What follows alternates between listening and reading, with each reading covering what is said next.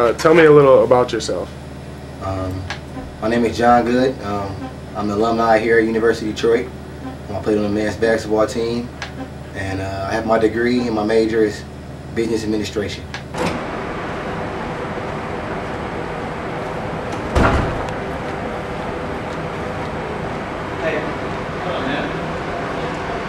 What was the atmosphere like, and how was it to play in Calihan Hall?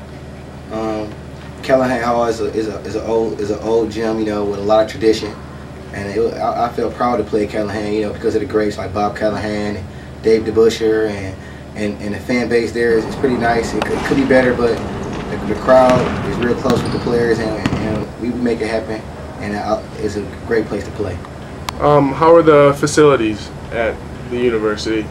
Um, I feel like uh, when I went to here, the facilities were, were up and coming, you know. And as I can tell, they add more things now, like tennis courts, and, uh, and I hear they plan on having a recreation center, and you know, with the new floor in Calihan, and just, just so much more new stuff for the for the for the athletes here. I feel like the facilities are up and coming, and they're they're for soon to be a great a great place.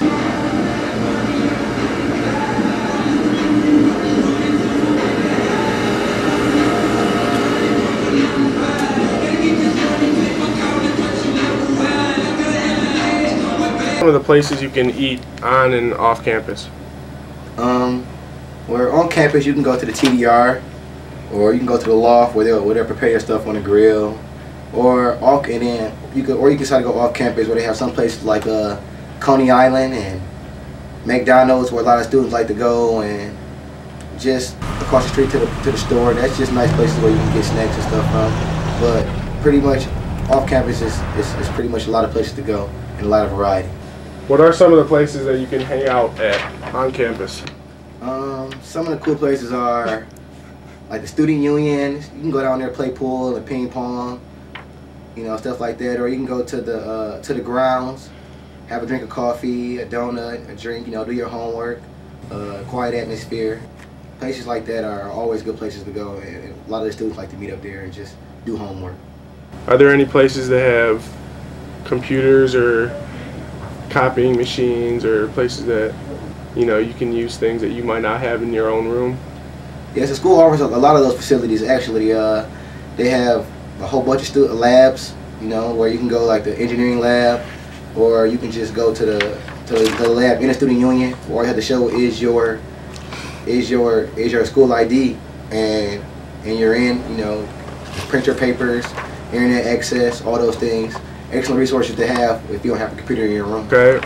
Favorite thing about the University of Detroit Mercy?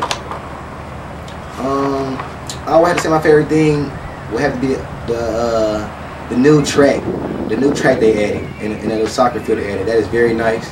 That's going to attract a lot of the, a lot of the alumni to come out and watch games, and, and it's going to force the students to come out and just support our team to the fullest. So I feel like that's the, that's the best part of UDM, the addition they, they added on this year. Anything that you could add to the school that they aren't already planning on adding, what would it be?